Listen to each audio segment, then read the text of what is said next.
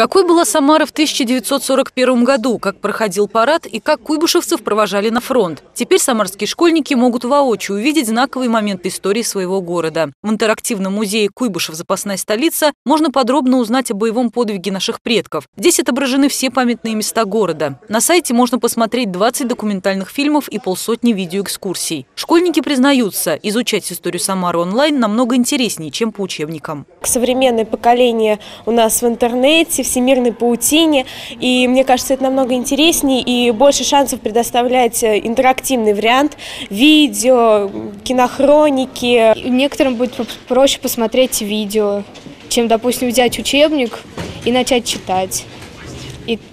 Ну и не все как-то покупают книги, не просто легче в интернете как-то все это найти дома. Посетители виртуального музея могут совершить путешествие во времени, пройтись по улицам Самары 1941 года, даже зайти в дома, а также посмотреть, как проходил парад в Куйбышеве. Можно, конечно, говорить всякими пафосными фразами о великом подвиге, э, куйбышевцев в год Великой Отечественной войны, и э, в итоге ничего не остается ни, ни, ни в памяти, ни в душе а можно с учетом вот возраста, подходить э, именно с учетом возраста и делать все в игровой манере. Сделать свой вклад в историю Самары может каждый. В разделе «Моя история» можно оставить рассказ о своих бабушках и дедушках, которые были участниками войны. Лариса Шлафаст, Станислав Левин. События.